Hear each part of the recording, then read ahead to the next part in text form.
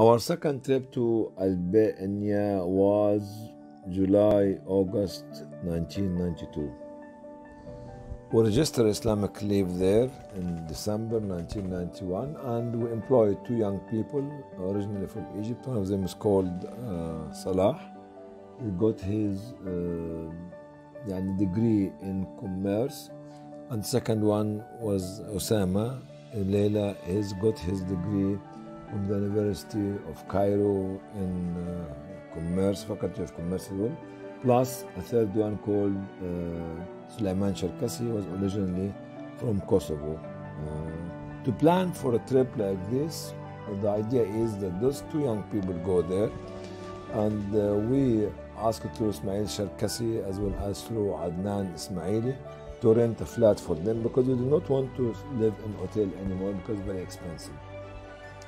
And uh, we rented this flat and we started to plan where to go and they give us the names of uh, different cities because we want to make a field a field visit to see different uh, cities different towns different areas different communities actually to enable the two young men to uh, see the country uh, before they start working so I landed in Tirana, which was actually a very, very primitive airport at the time.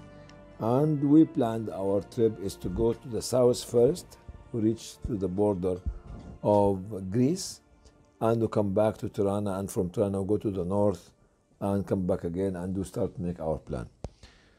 So there was no petrol as usual whenever you go to all of these uh, post-communist countries or whatever it is, there's no petrol, there's no facilities whatsoever.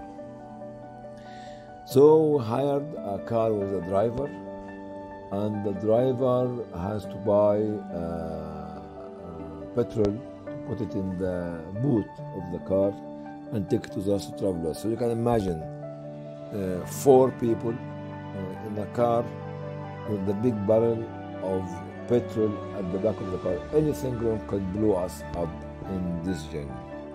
We started uh, visiting different cities, and our uh, intention was to find the mosques and start talk to the local people through the institution. Everywhere, everywhere, the Ottoman uh, at the time when they were ruling Albania were actually making this structured system of having central mosque at every city as well have small musallat and prayer uh, area on the mountains or on the different uh, uh, areas. So I went from Tirana to Kavaja, Kavaja to Vlora, Vlora came back to another city, I can't remember its name, uh, to Bogradis. Bogradis uh, was one of the cities which was starting a huge work in Bogradis and it is uh, have it it, uh, it, has what we call it a big lake, big lake uh, which actually shared between Macedonia and uh, Albania.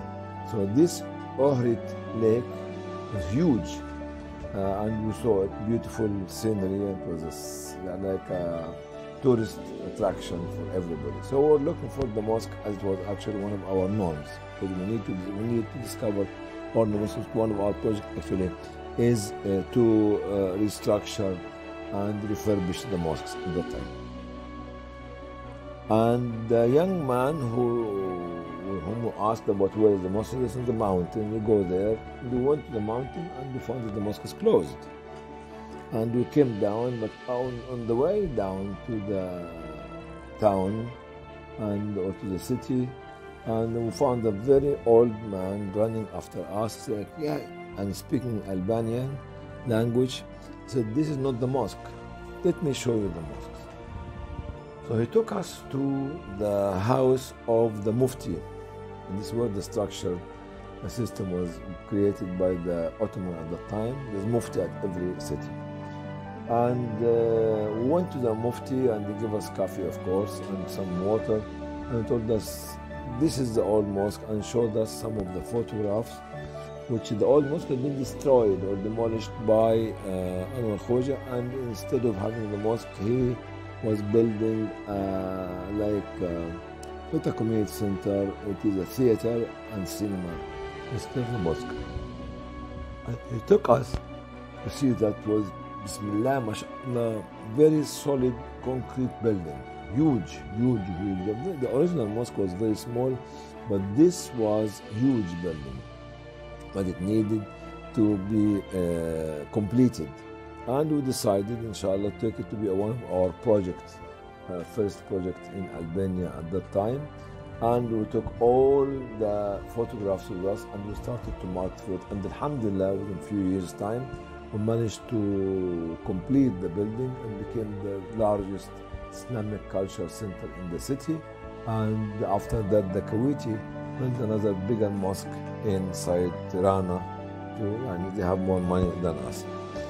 From Bogradis, we went to Tirana again for a day or so to refill uh, the tank as well as uh, the barrel which we are having. I went to a place called Shkodra in the north and a place called Beshkopi in the north. And whenever we used to go to these areas, we used to go and meet the muftis, uh, a mufti who are actually in charge of the mosques in the madrasa and the Islamic community in the area.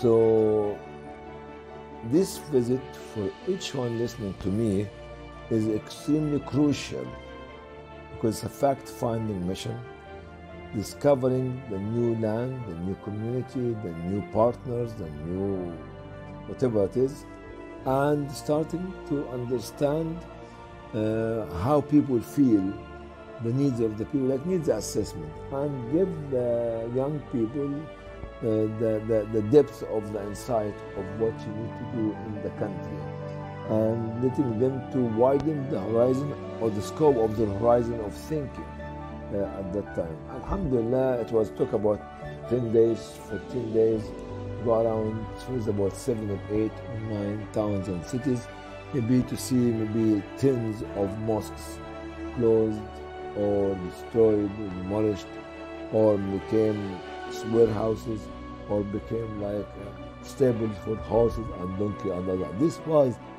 this was the system of communism at the time, which deprived people from the right to worship God, unfortunately. It was another memorable uh, journey for me. Assalamu alaikum wa rahmatullahi